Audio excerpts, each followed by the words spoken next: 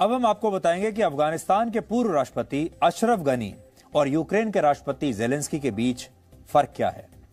हाल ही के दिनों में आपने दो देशों में इस तरह के युद्ध देखे हैं। पहले आपने अफ़गानिस्तान को देखा और अब आपने यूक्रेन को देखा। क्या समानताएँ हैं दोनों में? अशरफ गनी अमेरिका के कहने पर अपना देश छोड़कर बड़ी आसानी से भाग गए थे और जो अपने देश में उन पर विश्वास करने वाले उनके समर्थक थे, उन्होंने सबको मरने के लिए छोड़ दिया और खुद भाग गए। इस समय भी दुनिया के किसी न किसी देश में आराम से अपनी ज़िंदगी बिता रहे होंगे, किसी अच्छे से महल में बैठकर। और यूक्रेन के राष्ट्रपति आज भी युद्ध के बीचों बीच रहकर अपने देश की रक्षा कर रहे हैं, बावजूद इसके कि उनके सामने रशिया की खतरनाक और विशाल सेना खड़ी है। सबसे बड़ा अंतर यह है कि अशरफ गनी एक कायर राष्ट्रपति की तरह संकट की घड़ी में अपने देश और अपने लोगों को मरने के लिए छोड़कर अफ़गानिस्तान से भाग गए, जबकि यूक्रेन के राष्ट्रपति जेलेंस्की युद्ध में भी अपनी राजधानी कीव में डटे हुए हैं और उन्होंने अपने नागरिकों से कहा है कि वो आखिरी सांस तक अपने देश और अपने लोगों की आज़ादी के लिए संघर्ष करेंगे। वो हर रोज टीवी के सामने आते हैं, एक वीडियो संदेश जारी करते हैं और आजकल टी शर्ट पहनकर वो लोगों के सामने आते हैं। शुरू में सूट पहनकर आते थे, आजकल टी शर्ट पहनकर सामने आते हैं और हर रोज लोगों को संबोधित करते हैं। दोनों नेताओं में ये अंतर तब है जब अशरफ गनी के पास लंबा राजनीतिक अनुभव था। वो लगभग पंद्रह वर्षों से अफ़गानिस्तान की सक्रिय राजनीति का हिस्सा थे, अनुभवी नेता थे और लगभग पाँच वर्षों तक उन्होंने अफ़गानिस्तान में अमेरिका जैसे देश के सहयोग से अपनी सरकार चलाई। उनके पास अमेरिका जैसे देशों के साथ डील करने का अनुभव था, अमेरिका का पूरा समर्थन था, कूटनीति को अच्छी तरह से समझते थे, वैश्विक राजनीति की जानकारी भी रखते थे, बहुत पढ़े लिखे थे। लेकिन इसके बावजूद, अशरफ गनी के राष्ट्रपति रहते हुए तालिबान ने आसानी से काबुल को रातों रात अपने कब्जे में ले लिया और वो इस संकट का सामना करने के बजाय भारी मात्रा में रुपया लेकर दूसरे देश भाग गए। ऐसा कहा जाता है कि जाते समय बहुत पैसा लेकर गए अपने साथ। जबकि यूक्रेन के राष्ट्रपति जेलेंस्की को दुनिया ने कभी भी एक गंभीर नेता माना ही नहीं। उन्हें हमेशा से एक एक्टर और कॉमेडियन की तरह देखा और उनके लिए धारणा बन गई कि वो राजनीति तो कर ही नहीं सकते और नेतृत्व क्षमता उनमें नहीं है। लेकिन आज जेलेंस्की ने अपने साहस और अपनी कार्यशैली से पूरी दुनिया को चौंका दिया। जेलेंस्की के पास यूरोपीय देशों से यह प्रस्ताव था कि वो उन देशों में जाकर शरण ले सकते हैं। अमेरिका ने भी यह प्रस्ताव उनके सामने रखा कि आप भाग जाइए और हमारे यहाँ शरण ले लीजिए, हम आपका ध्यान रखेंगे। लेकिन उन्होंने यूक्रेन में रहकर रशिया के खिलाफ संघर्ष करने का फैसला किया और आज वो पूरी दुनिया में यूक्रेन के पोस्टर बॉय बन चुके हैं। रशिया के खिलाफ इस जंग के पोस्टर बॉय बन चुके हैं। जब अमेरिका ने उनसे कहा कि आप यहाँ से भाग जाइए और हम आपको यहाँ से निकाल सकते हैं, तब उन्होंने अमेरिका से कहा था I want ammo not a ride ये कितनी बड़ी बात है और ये उनका जो स्टेटमेंट है, पूरी दुनिया में मशहूर हो रहा है। जब वो कह रहे हैं कि मुझे एमोनिशन चाहिए, मुझे भागने का रास्ता नहीं चाहिए। लड़ने के लिए एमोनिशन दो अगर दे सकते हो तो। भागने का रास्ता मत बताओ। माना जाता है जिस देश का नेतृत्व किसी अनुभवी नेता के पास होता है, उस देश की सरकार और सेना के बीच बड़ा अच्छा संतुलन होता है। लेकिन अशरफ गनी इसमें भी नाकाम रहे। जब तालिबान ने काबुल पर कब्जे की लड़ाई शुरू की, उस दौरान सिर्फ़ अशरफ गनी ही अपना देश छोड़कर नहीं भागे, बल्कि अफ़गानिस्तान की सेना के कई बड़े कमांडर्स और सैन्य अधिकारियों ने भी दूसरे देशों में जाकर शरण ले ली। ये सब भी डर गए।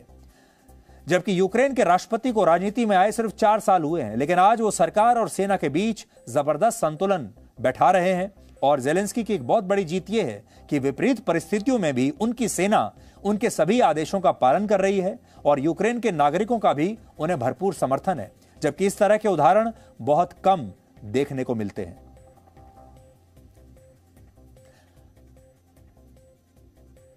इसलिए हो सकता है जेलेंस्की एक ना एक दिन हार तो जाएँगे ही, क्योंकि पश्चिमी देश मदद के लिए आ नहीं रहे हैं। पश्चिमी देशों ने धोखा दिया, अमेरिका ने भी धोखा दिया।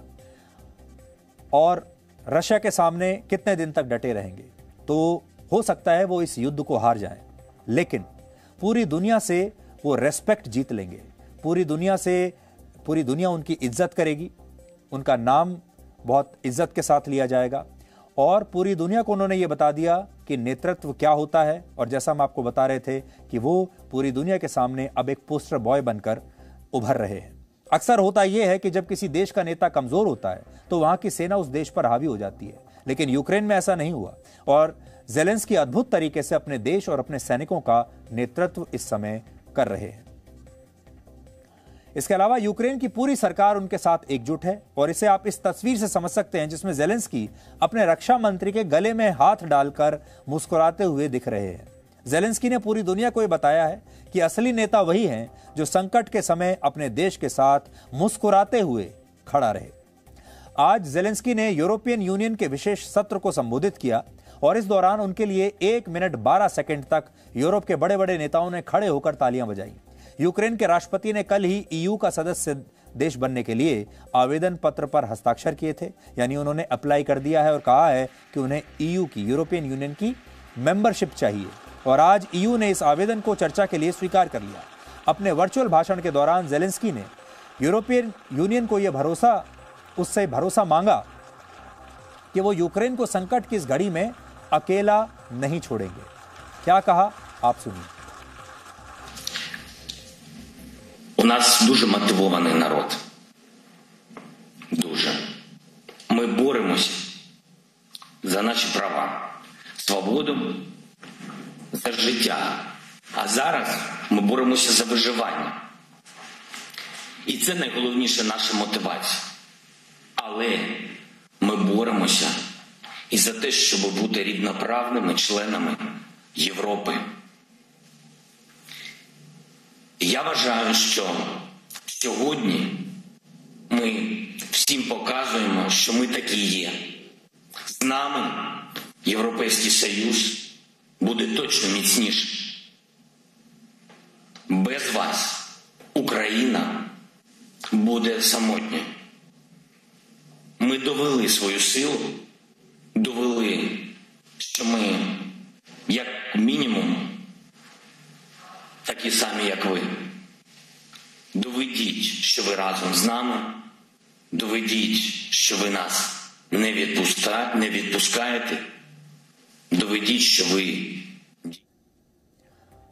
तो अभी तक आपने दुनिया के जो बड़े बड़े नेताओं की परिभाषा देखी है, उनका पहनावा देखा है, उनके रंग ढंग देखे हैं, वो जेलेंस्की से बिल्कुल अलग है। जेलेंस्की को जब आप देखेंगे बात करते हुए, जैसे अभी आपने देखा यूरोपीय यूनियन को संबोधित कर रहे हैं, लेकिन एक बहुत कैजुअल सी टी शर्ट पहनकर बैठे हुए हैं, और बड़े कैजुअल तरीके से कैजुअल तरीके से मेरा कहने का मतलब ये नहीं कि उनकी बातों में दम नहीं है, बातों में गंभीरता नहीं है। गंभीरता तो है लेकिन वो एक आम व्यक्ति की तरह अपनी बात पूरे जज्बातों के साथ अपने दिल पर हाथ रख के कह रहे हैं और यही कारण है कि यूरोप के बड़े बड़े नेता जो हैं, वो खड़े होकर उनके लिए तालियाँ बजाते रह गए जब उनका भाषण समाप्त हुआ। अब जेलेंस्की चाहते हैं कि उनके देश को यूरोपीय यूनियन की मेंबरशिप मिल जाए। यूरोपीय यूनियन ने आज तक उन्हीं देशों पर दांव लगाया है जिनसे उनके हित पूरे होते हैं। तो यूरोपीय यूनियन जो है, वो भी बाकी तमाम देशों की तरह एक मतलबी संगठन है, अपना मतलब साधते हैं। और यूक्रेन को ईयू का सदस्य देश बनाकर यूरोपीय यूनियन को इस समय असल में कुछ ज़्यादा हासिल होने वाला है नहीं। बल्कि इससे यूरोपीय यूनियन का रशिया के साथ टकराव बढ़ जाएगा और ईयू कभी भी किसी दूसरे देश के लिए अपने पैर पर खुद कुलाड़ी नहीं मारेगा। वो केवल यूक्रेन के आवेदन पत्र पर चर्चा करके अपनी छवि सुधारता रहेगा, हीरो बनता रहेगा और ये दिखाना चाहेगा कि जब रशिया यूक्रेन पर हमला कर रहा है, तब यूरोपीय यूनियन यूक्रेन के साथ है।